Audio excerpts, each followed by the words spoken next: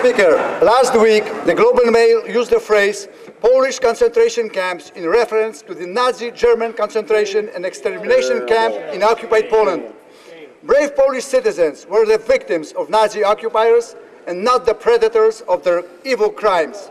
The Globe article was an insult to thousands of Polish righteous among the, among the nations who risked their, their lives to save Jewish neighbors. Can the minister update the House on what our government, government has done to correct the offensive misconception about the existence of Polish concentration camps? Great question. The Honourable Minister of Citizenship and Immigration.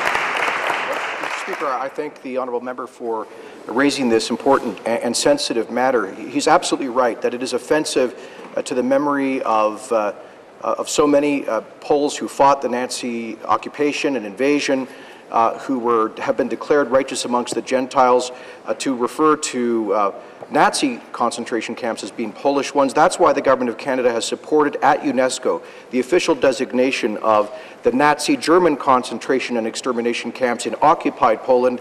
Let there be no mistake, Mr. Speaker, uh, about this point in history, and the Government of Canada certainly uh, asks that all people be sensitive uh, to uh, the legitimate historic concerns of the Polish community in this regard.